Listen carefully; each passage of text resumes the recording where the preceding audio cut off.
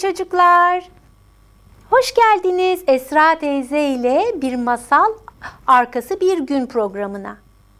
Orada mısınız?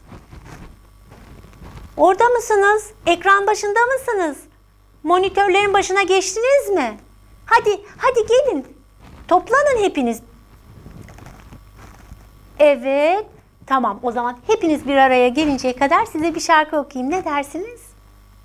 Ali Baba'nın bir çiftliği var. Çiftliğinde inekleri var. Mü mü diye bağırır. Çiftliğinde Ali Baba'nın Ali Baba'nın bir çiftliği var. Çiftliğinde köpekleri var. Hav hav diye bağırır. Çiftliğinde Ali Baba'nın Ali Baba'nın bir çiftliği var. Çiftliğinde kedileri var. Miyav miyav diye bağırır. Çiftliğinde Ali Baba'nın. Aa, demek toplandınız. İyi. O zaman size bugün önce biraz komik bir şey okumak istiyorum. Nasrettin Hoca'yı hepiniz biliyorsunuz değil mi? Ne kadar komik e, fıkraları var. Hepimiz onu çok seviyoruz. Size bugün Nasrettin Hoca'dan Kandil ve Kazan adlı fıkrasını okumak istiyorum. İlk önce. Kışın ortasında Nasrettin Hoca'nın arkadaşları hocanın evinde bir akşam yemeği yemek istemişler. Bir plan hazırlayarak hocanın yanına giderler ve içlerinden biri Hocam bizi bir konuda an, biz bir konuda anlaşamadık. Bize yardım eder misin der. Hoca e, neymiş o bakalım diye sorar. Acaba hoca gece sabaha kadar şehrin dışında ateş yakmadan kalabilir mi diye tartıştık.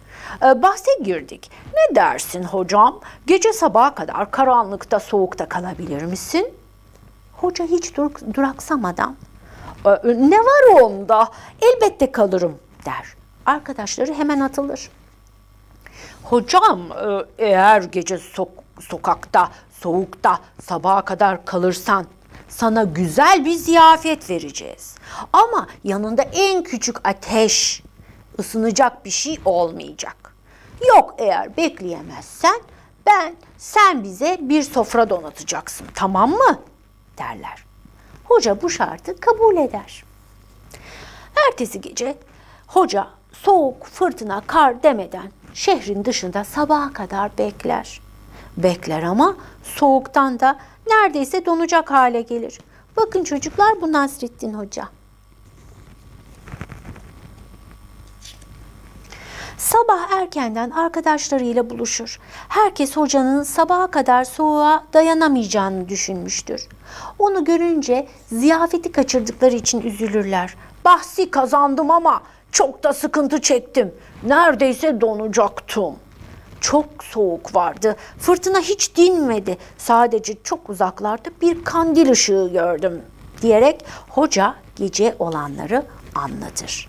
Bunu duyan arkadaşları Huh derler. İşte bahsi kaybettin. Hani etrafında hiç ateş olmayacaktı ama sen mum ışığıyla ısınmışsın. Bahsi kaybettin. Hiçbir şey olur mu çocuklar? Soğuk havada minicik bir mum ışığıyla insan ısınabilir mi? Fıkra işte. Hoca uzaktan görünen mum ışığının kendisini ısıtmadığını söylerse de arkadaşlarına kabul ettiremez. Çaresiz onlara ziyafet vermeyi kabul eder. Ertesi akşam hocanın arkadaşları çorbalar, dolmalar, börekler hayal ederek neşeyle hocanın evine gelirler. Bir de bakarlar ki sofra kurulu ama ortada yemek falan yok. Hoca onlara sabredin birazdan yemekler hazır olacak der. Aradan bir saat geçer, yemek yok. İki saat geçer, yemek yok. E yemek bahçede pişiyor. Gelin de pişip pişmediğine bakalım der hoca. Bir de ne görsünler. Hoca bir ağacın dalına yemek kazanını asmış. Yere de bir, bir küçücük mum yakmış, koymuş. Onu kazanı kaynatmaya çalışıyor. Çok şaşırırlar. Aman aman hocam bir mumla bu koskoca kazan kaynar mı hiç? diye sorunca hoca şu cevabı verir. Elbette kaynar. Dün gece ben şehrin bir ucundan gelen mum ışığıyla ısındım. Bu da mum neden kazanı kaynatmasın ki der. ne kadar komik. İşte hocamızın, Nasrettin hocamızın e, güzel fıkralarından bir tanesiydi bu sevgili çocuklar. Belki anneleriniz, babalarınız size bu fıkralardan anlatmış olabilirler. Çok eski zamanlarda bana da babam, annem anlatmıştı. Böyle kitaplar almışlardı. Ben de okumuştum. Siz de okula başladığınız zaman onlar da size alırlar. Eğer başlama, başladıysanız, okula gidiyorsanız annenize, babanıza değil, bana bir Nasrettin Hoca kitabı al anne. Ben de onun fıkralarını okumak istiyorum, öğrenmek isteyeyim, istiyorum deyin. Olmaz mı? Şimdi size bir masal daha anlatacağım, okuyacağım. Evet, bu yine bizim dünya masalı. Masal Dünyası adlı kitabımızdan seçtiğim bir masal. Bir kutu çöp, bir sepet erik, bir Bulgar masalı bu. Bir zamanlar bir adamın bahçeli bir evi varmış. Biricik oğluyla beraber yaşar gidermiş. Yıllar yılları kovalamış, çocuk büyümüş, evlenme çağına erişmiş. Babası oğlunu evlendirmek istiyormuş ama aradığı özellikleri taşıyan bir kız bulamamış. Çocuklar aile kavramı çok önemli olduğu için bu kitaplarda hep böyle aile kurmayla ilgili masallar var. Herhalde düşünmüş, taşınmış, sonunda bir çare bulmuş. Adamın bir erik ağacı varmış. Bir gün sepetler dolusu erik toplamış.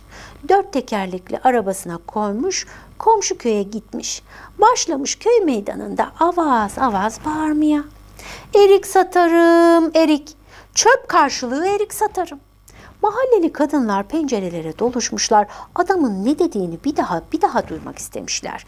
Gerçekten çöp kutularıyla gelen kadınlar çöplerini vererek bir sepet alıp bir sepet erik alıp gidiyorlarmış.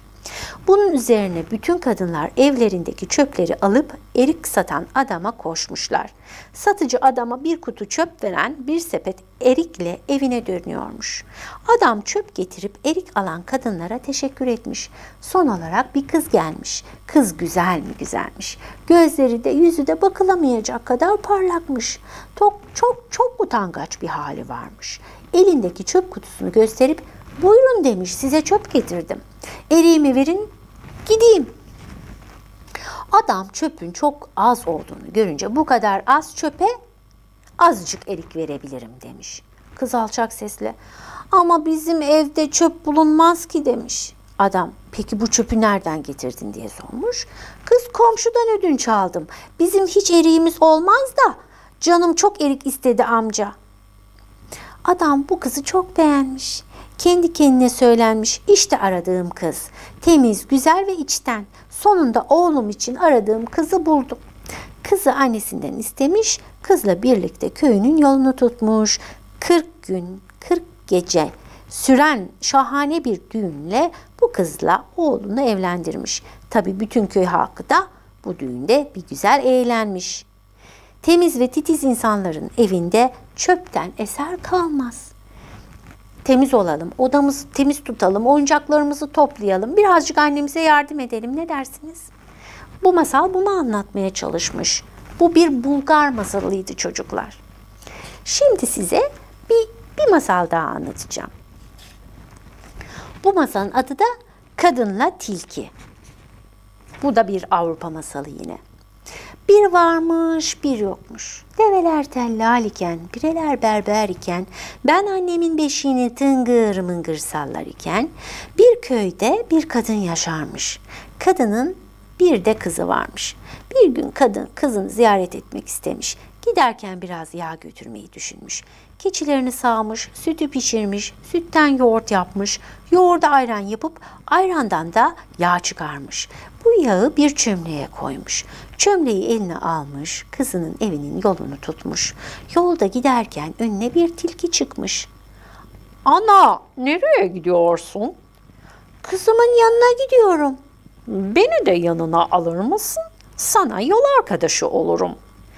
Peki gel memnun olurum. Tilki gizlice sevinmiş. Hemen kadınla beraber yola koymuş. Ama tilkinin gözü çömlekteymiş. Kadına, anacığım sen yoruldun. Şu çömleği bana ver de ben taşıyayım. Kadın tilkinin kurnazlık yaptığını düşünememiş. Çömleği tilkiye vermiş. Tilki kadının ardından yürümeye başlamış. Kadıncağız, neden ardım sıra geliyorsun yanımda yürümüyorsun demiş. Tilki, şey sana saygımdan dolayı böyle yürüyorum diye cevap vermiş. Bu şekilde yürümeye devam etmişler. Bu arada tilki yavaş yavaş çömleğin kapısını, kapağını açmış, içinden biraz yağ alıp midesine indirivermiş. Kadının hiç haberi bile olmamış. Yol boyunca çömlekteki yağı bitiren tilkinin karnı bir güzel doymuş. Kurnaz tilki bununla yetinmemiş, kadın yağı yediğini anlamasın diye çömleğin içine toprak doldurup ağzını kapatmış.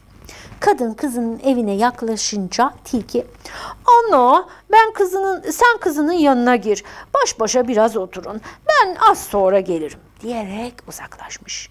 Kadın kızın evine varmış, çömleği vermiş, kızı annesinin elini öpmüş, hoş geldin demiş. Annesinin ne getirdiğini merak etmiş. Çömleğin ağzını açıp bakmış, bir de ne görsün. Çömleğin içi toprak dolu. Şaşkınlıkla, anne bu toprağı niçin getirdin diye sormuş. Kadın şaşırmış. Tilkinin oyununu anlamış ve öfkelenmiş. Kızına her şeyi anlatmış. Kız annesinden de daha çok bile öfkelenmiş. Kendi kendine oh alçak tilki diye konuşmuş. Kadın vay vay hain. Meğer tilki bu sözleri bacadan dinliyormuş. Oh canıma değsin yağı yedim karnımı doyurdum diyerek anneyle kızın kıza sesini duyurmuş. Kız kız gülüyormuş. Anne ve kızı başlarına gelen bu olaya çok üzülmüşler. Kendi aralarında tilkiye nasıl bir ceza versek diye konuşmuşlar. Annesi şimdi hiçbir şey demeyelim. Sen bana biraz kara sakız bul demiş. Kız kara sakız bulup getirmiş. Kadın tilkinin çıktığı bacağının etrafına kara sakız sürmüş.